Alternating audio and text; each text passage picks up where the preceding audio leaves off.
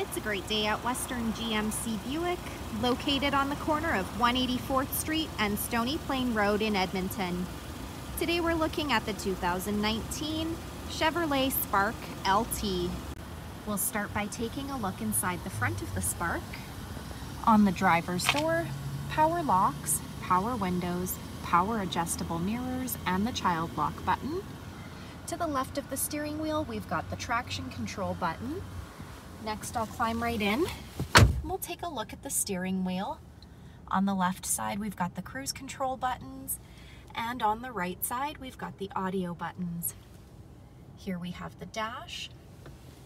To the right, we have the Chevrolet Infotainment Center with Apple CarPlay and Android Auto. This screen displays the outside temperature, the time, and it's also equipped with our backup camera. We're able to turn that guidance off or back on. Down below are the climate control buttons. We've also got some USB and power plugins.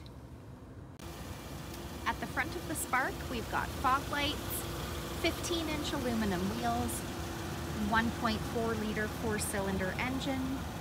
As we make our way to the back, We've got the rear window wiper. I'll open up the trunk here and we'll take a look in the back. We've got a smaller storage compartment down below.